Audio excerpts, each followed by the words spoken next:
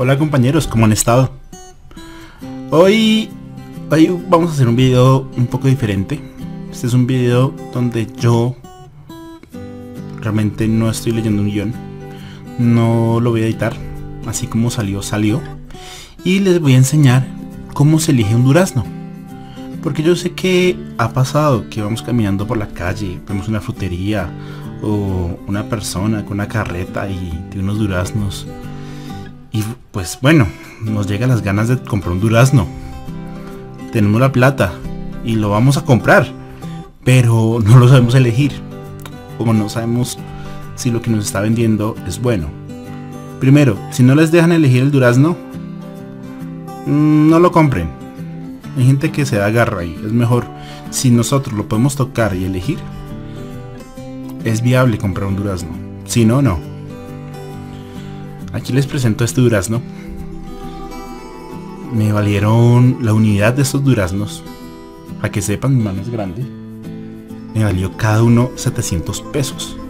Es un durazno nacional. O sea, producción, eh, producción colombiana. Y este durazno, por cómo lo vemos, podemos saber que es un injerto rojo. Además, estoy en Bogotá. Los duraznos más consumidos en Bogotá nacionales son injertos rojos. Es un durazno que en el centro vamos a ver un poco de rojo. En el centro junto a la semilla. Y la piel es amarilla con toques rojos. Esta es una, variedad de durazno mm, relativamente económica de producir. No es tan, no es tan complicada. Y para los que están comenzando una empresa de frutas o verduras, pues es, muy buena porque es extremadamente económica. O sea, no tiene sentido hacer una mermelada con un durazno chileno. Seamos claros en eso. Pero bueno, este durazno, este durazno, para poder elegir, vamos a tener las siguientes variables. Una, el color. Si un durazno es demasiado verde. Ustedes ya saben que no está en un estado de madurez o un grado de madurez adecuado. Y la siguiente variable es podemos decirle podemos decirle dureza. Pero antes de ver la dureza, les voy a enseñar a palpar una fruta. Porque el problema es que las personas no saben palpar una fruta. Para eso vamos a utilizar este fuchi. Vamos a tomar y vamos a apretar. Cuando vamos a tocar una fruta, lo vamos a hacer con las yemas de los dedos. Y vamos a tocar suavemente. Hay personas que no utilizan las yemas para sentir la fruta, sino la articulación. Entonces vamos a tocar y validamos si la piel cede o no cede. ¿Sí? Una fruta así estaría dura. Ahora no hay que hacer esto. O sea, llegar y, llegar y vamos a clavar el dedo porque dañamos el fruto. O sea, estamos dañando lo que nos vamos a comer y es un ser vivo. Hay que respetar la comida. Vamos a aflojar la mano y tocamos. Lo palpamos con todo el cariño del mundo. Si sentimos que cede la fruta, significa que está en su punto. ¿Sí?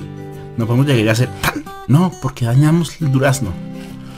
Debemos sentir que se puede palpar.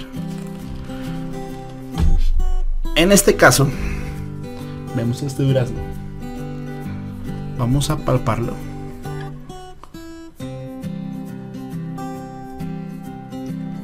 Y no sé de la cáscara. Voy a clavar los dedos para que vean su dureza. Su dureza.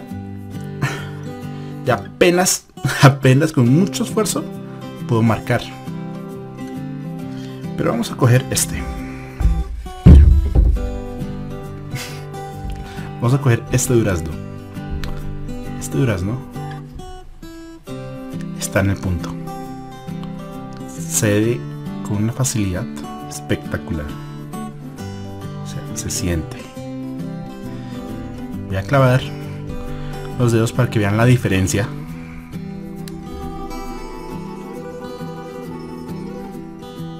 Y se puede ver la diferencia de dureza.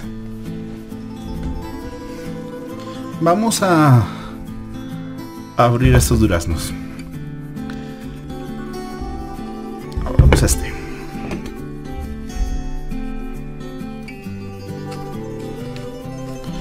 Los daños físicos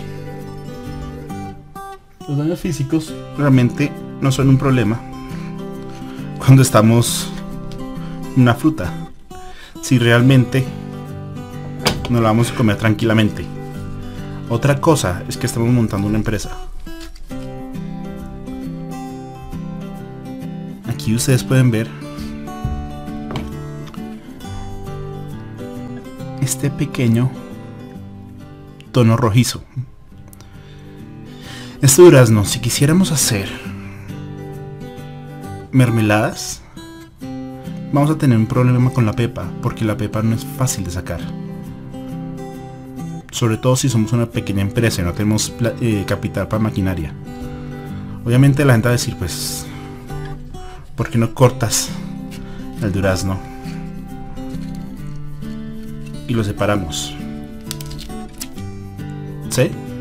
Y sale sale la pepa.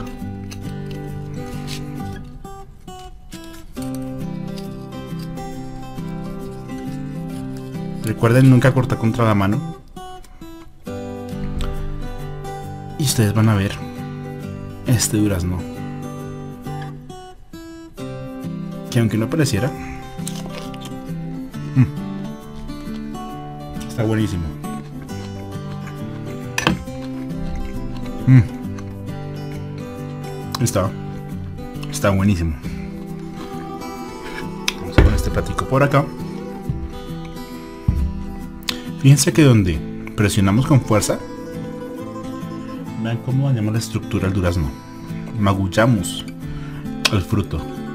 Si fuéramos a hacer una decoración con este durazno, esta parte, vamos a ver cómo se genera rápidamente. ¿Por qué? Porque bueno, hicimos esto. Esto no se hace. No se clava el dedo.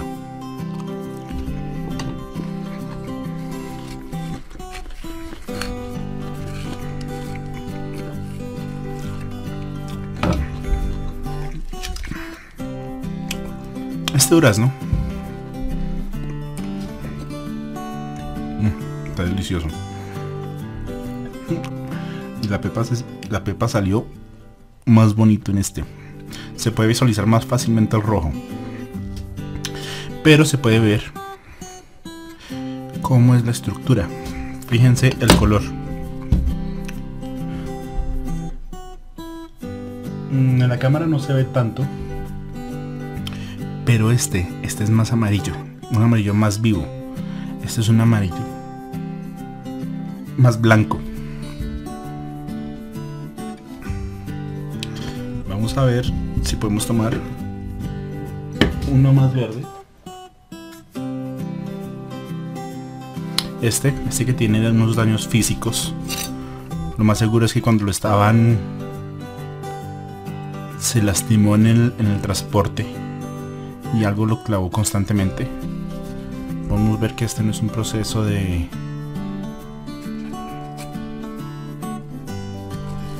de gusanos. Realmente es un daño físico normal. ¿Qué pasa cuando los productos no tienen una buena cadena de transporte? Pero vamos a ver. Es que este... Bueno, este está muy duro. Vamos a cortarlo.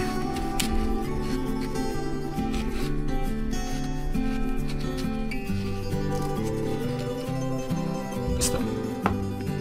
Vamos a cortar este durazno. Está tan duro, tan duro. Pero en este podemos visualizar cómo por aquí la fruta está verde. La pulpa está verde. Está dura. Fíjense que no cede. No cede. No cede la pulpa. Pero a cambio en este. En este. Si lo hacemos cede fácilmente. Es más fácil morder este. Mm. Y morder este. Y esta es la nuez del durazno. Cosas que salen, ¿no? Primera vez que me sale una nuez, fácilmente el durazno. Cuando era pequeño me las comía. Hasta que me intoxiqué. Creo que comí muchas. Pero no debía haber comido tantas. Bueno, señores, eso es lo que les quería contar del durazno.